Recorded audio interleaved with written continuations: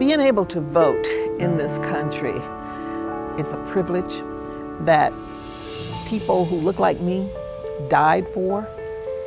I can't imagine not being able to have the right to vote. The right to vote really puts us in positions of policymakers, in positions of power. The day that I will be able to vote, I can't even express the emotion and happiness that that would bring me. Your vote is your voice.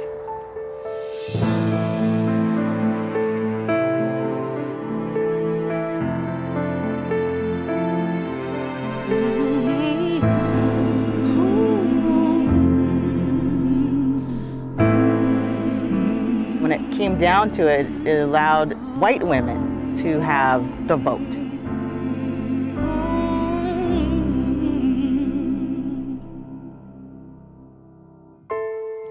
Anna Arnold Hedgeman. Marguerite Milton Wells.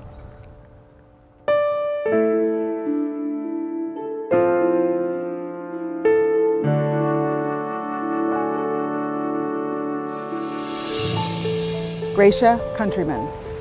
Genova Martin. Teresa Payton. We are where we are today because of them.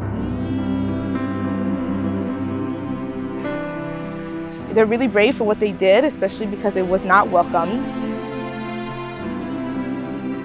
The stories need to be told.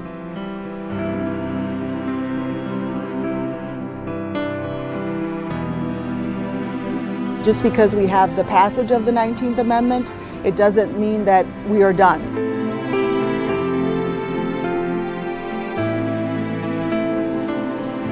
You have to be resilient and sometimes very disruptive to get the change that you need.